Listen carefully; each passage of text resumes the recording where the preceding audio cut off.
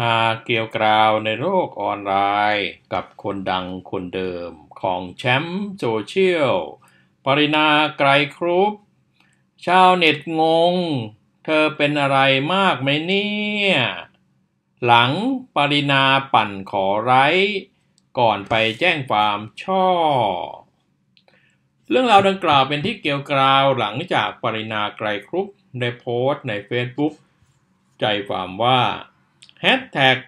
คิดว่าปรินาควรไปแจ้งความช่อ ช่วยกดไลค์เยอะๆด้วยค่ะ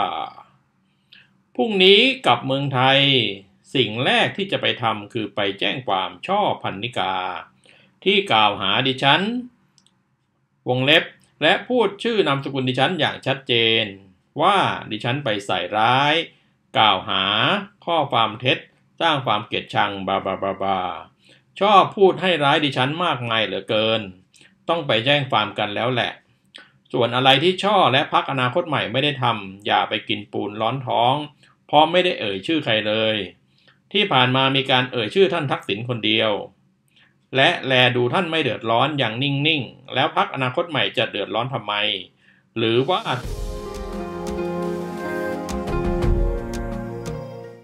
สังคมจะเป็นคนตัดสินว่าดิฉันพูดถึงใครอยู่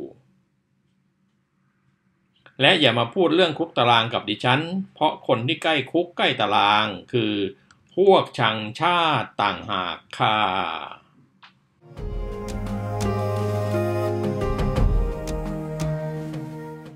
เรื่องราวดังกล่าวของเธอเนื่องจากปิดคอมเมนต์จึงมีคอมเมนต์เพียงหนึ่งคอมเมนต์ก็คือตัวเธอเอง ในขณะเดียวกันมียอดกด ไลค์กดหัวเราะ และกดโกรธ 2,100 ครั้ง มียอดแชร์สูงมาก 4,200 แชร์ และมีแคปชั่นต่างๆ มากมาย เราไปดูยอดกดไลค์กดโกรธ และยอดขำกันก่อนว่าเป็นอย่างไร อันแรก ยอดหัวเราะขำๆมากกว่า 1,600 ครั้งมากที่สุดก็คือยอดขำขำต่อโพสต์นี้ ยอดโกรธ มียอดโกรธมากกว่า 5,600 ครั้งที่โกรธและไม่ชอบใจ ส่วนยอดสนับสนุน ยอดไลค์มี 3,600 ครั้ง ใน 21,000 ครั้งก็คือมองว่าเป็นเรื่องขำๆหน้าหัวเราะ แล้วก็มีรองลงมาคือเป็นการโกรธ แล้วก็ตามด้วยมียอดไลค์3,600ส่วนแคปชั่นต่างๆที่มีอาทิเช่น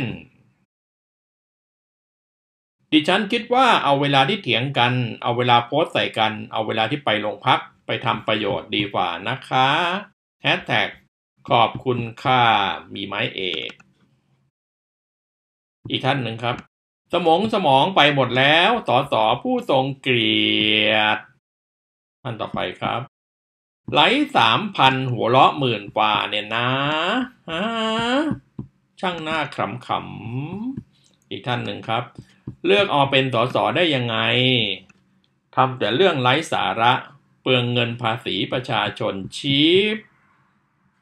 อีกท่านหนึ่งครับ ยอดไลค์สามพันฝ่ายเองนะเอ๋ฮ่าฮ่าฮ่าฮ่าพี่เอ๋ดูหรือเปล่าก็ไม่รู้ครับ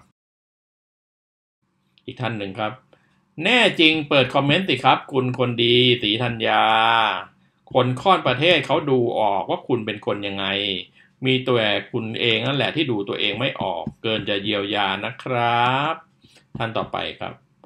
อะหมดปัญญาจะสรรหาคำมาด่า คือนางเกินเยียวยาจริง ๆ คงแล้วแต่เวรแต่กรรมละกันอีสัตท่านต่อไปครับ เฉลย แจ้งจับเพราะไลค์เยอะ โดยเฉพาะหัวเราะกับโกรธ ปอลอกดขำกดโกรธไม่ได้อยู่นะ ข้างมึงนะมึง อีกท่านหนึ่งครับ มึงป่วยจิตมึงก็ไปหาหมอ ให้หมอก็เช็คสมองมึงนะอีเอ ท่านต่อไปครับ ผมจะรอดูคุณ คุณจะจบแบบไหนฮ่าฮ่าฮ่าฮ่าฮ่ารอรอคุณโพสต์หมิ่นเขาก่อนวันที่สี่เดือนแปดพอเขาแจ้งความคุณไปแก้ไขโพสต์วันที่ห้าเดือนแปดไม่แจ๋วจริงนี่ ปัดโถเขาเห็นกันหมดแหละนายกตู่ยังโดดป้องปรินาเชื่อว่าไม่ได้โพสต์เอง ตู่เอ้ยตู่ไปอยู่ไหนมาปัดโถ นี่ไงประวัติการแก้ไข ก็มีรายละเอียดการแก้ไขโพสต์ดังกล่าวนะครับ แต่ก่อนวันนี้ได้โพสต์ไปว่าเป็นคุณจะไปเยี่ยมใคร พณะท่านสมศักดิ์พลังประชารัฐไปเยี่ยมเหยื่อระเบิด ช่ออนาคตใหม่ลงใต้ไปให้กำลังใจครอบครัวผู้ต้องสงสัยฮ่าฮ่าฮ่าฮ่าชัดเจน ในเรื่องราวที่เกี่ยวข้องกันเพจธนวัฒน์วงใจได้นำไปโพสต์ ใจความว่า ไปแจ้งความตามประมวลกฎหมายอาญามาตรา 420 เหรอครับ เพียง 3 ชั่วโมงมียอดกดไลค์ ความคิดเห็นและยอดแชร์มากมาย มียอดกดไลค์ 2,800 ครั้ง มียอดความคิดเห็น 265 ความคิดเห็น และมียอดแชร์ 71 แชร์แคปชั่นที่ธนวัฒน์วงชัยเอามาก็คือสส.ปารีณาโพสต์มาประมาณ 1 ชั่วโมงที่ผ่านมา ก่อนที่ธนวัฒน์วงชัยจะเอามา โดยโพสต์ว่าพรุ่งนี้เวลา 10 นาฬิกา สส.ปารีณาจะไปแจ้งความช่ออนาคตใหม่ที่สอนอลุมพินีขาขาและมียอดความคิดเห็นอาทิเช่น ใครไปดักบ้างฮ่าฮ่าฮ่าเอาสักฝุ่น พูดเล่นๆกันนะครับ อย่าทำจริงนะครับ มันคนป่วย ท่านต่อไปครับ ดูว่างนะอีดอกทำอะไรให้ประเทศมั่ง อีกท่านหนึ่งครับ ประสาทแดกเหมือนหมาแดกแฟบเลย เอาว่าเป็นนั่นไป ท่านต่อไปครับ ป้ากินยาแล้วพักผ่อนเยอะๆนะ ดูท่าทางจะป่วยมาก อีกท่านหนึ่งครับ ดีใจที่อย่างน้อยพวกเราก็ไม่ไปเม้นทำนองว่าจะไปดักตบแบบอีคุณทาทายัง หรือมีก็น้อยนิดหน้าหลอกอ่า อย่าทำนะครับ ท่านต่อไปครับ สอนอไม่รับฟ้อง เพราะไม่เข้าข่ายคนปกติ อีกท่านหนึ่งครับ ให้คุณค่าแฮชแท็ก EA แล้วก็เป็นภาพชูนิ้วกลางนะครับ ท่านต่อไปครับ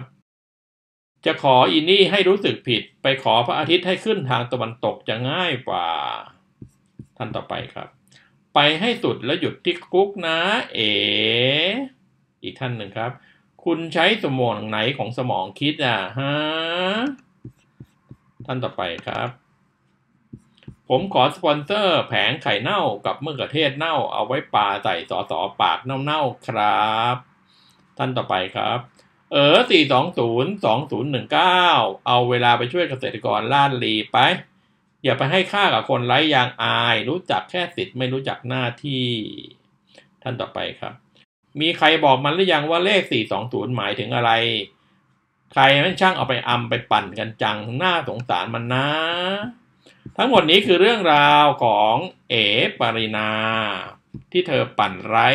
ก่อนไปแจ้งความช่อ ชาวเน็ตพากันงงเมื่อสอสอปรินา ขอปั่นไร้ก่อนไปแจ้งความ วันนี้ 10โมงเช้า